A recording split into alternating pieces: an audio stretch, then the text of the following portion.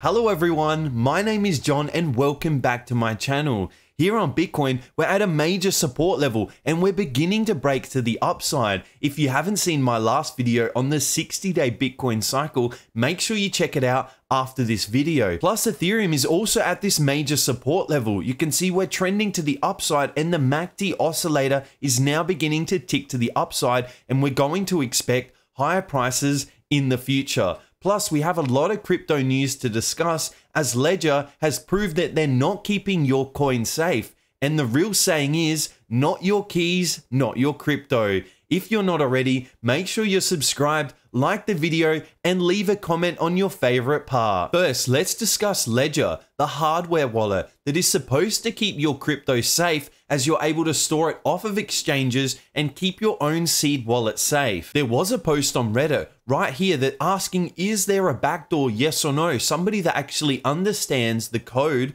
of the ledger has been going through the code and seeing what's actually happening. Right here, they're talking about three different custodians goes against the number one rule of never typing your seed in a connected device. They wanted a response from Ledger, and the response was absolutely horrid. This was the response from a Ledger co founder. The device sends encrypted shards of your seed to different companies if you decide to use the service. You can, of course, still choose to back it up yourself. This proves that your keys are not safe as a hardware ledger wallet is supposed to store your crypto off of exchanges and only you know the seed phrase that you never type into a computer. When using the ledger hardware wallet, you're supposed to write your seed phrase on a piece of paper and store that somewhere safe. Now, what they're saying here is that your encrypted shards are being sent to different companies, and although you still have to choose to opt into this service, it's showing that really, is Ledger as safe as they've always made out to be? This was a fantastic response from one of the Redditors. Trusting the proprietary, secure element to do its part was the single thread that held this company together, and now it's been severed. I can no longer recommend Ledger to anyone who gives a damn about their digital sovereignty. It is an opt in and you don't have to use it, but that is a complete misdirection on their part. A hardware wallet should have a secure enclave where the private key never leaves the device under any circumstances. They've opened APIs for the enclave to send encrypted shards to a third party on the internet, and that is just unacceptable. Ledger has also proved that they have deleted a tweet where they claim Ledger and our trusted providers have no access to your secret recovery phrase. As you can see here, this was a real post by Ledger and they've actually deleted it off their Twitter account. Again, I'm going to be taking all of my crypto off of this Ledger wallet as I do not trust them anymore. In other news, let's look at the difference between transferring gold and transferring Bitcoin. On the top video, you can see a massive police entourage having to escort these trunks that are holding a large amount of gold. But when you want to send crypto across the world, it's literally only a few clicks of the button away. This goes to show exactly where money is headed in the future. It is going to become digitized and it's going to be run on the blockchain where you have a fixed, secure amount of Bitcoins, 21 million, and you're never allowed to print anymore. Right after the Tesla shareholder meeting, Elon Musk had an interview with CNBC where he was discussing that Twitter actually has the potential to become a real time financial system as PayPal is not really doing the job that is needed to be done. And if you were to ask me to trust anyone with the financial system, I truly do believe Elon Musk has our best intentions at heart. Lastly, Canadian economists are saying that the role of the US dollar in international transactions as a reserve currency has been declining.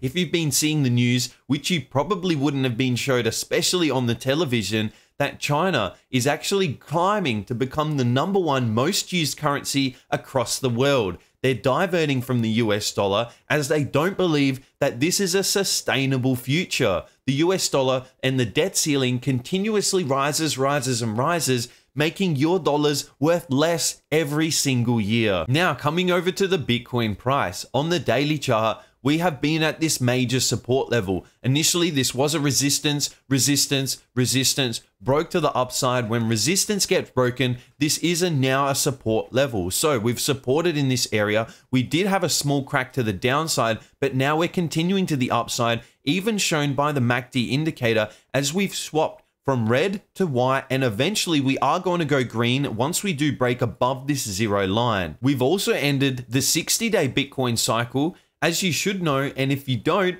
please watch my last video as the Bitcoin 60 day cycle is extremely important and can actually pick the highs and the lows in the market Plus, it also gives us a future prediction as to what is the highest probability play for Bitcoin. And since we had this low right here and we had a right hand translated cycle, it means that the highest probability play right now for Bitcoin is actually to continue to the upside. So right now I'm looking to get long and get long quickly as this is the highest probability play you can see we are still trending below the exponential moving average as we do have a bit of a decline in this area. And I do have a short-term exponential moving average as well as a more longer-term exponential moving average. And what I like to call this area in between of these two exponential moving averages is the value zone. So the first time that we came back into the value zone right in this area here, you can see that we did begin to sell off because we came back into the value, we came back into the average price, and we have seen this exponential moving average tick to the downside. But within the next few days, I really am expecting a large bullish trend bar. Reason being is we have been going sideways for a lot of days, and now some volatility is going to come into the market and it will come quickly. On the four hour Bitcoin chart, I've been saying for the last week that we did have this bearish divergence in this area. As you can see, price we made a low and then we made a lower low. But on the MACD indicator, we made a low, but then we made a higher low in terms of the indicators. This is a divergence pattern where we make a lower low in price, but we make a higher low on the indicator. And this indicator, being the MACD, is signaling that the volume and buying power is swapped from going down. It is now going to the upside. Again, also seen in the price as through this area here, we initially had a bit of a resistance level. Once we broke through, we had a solid breakthrough and we're coming back down. Once a resistance gets flipped, we're going to use this area as support. And right now, we're just supporting multiple times.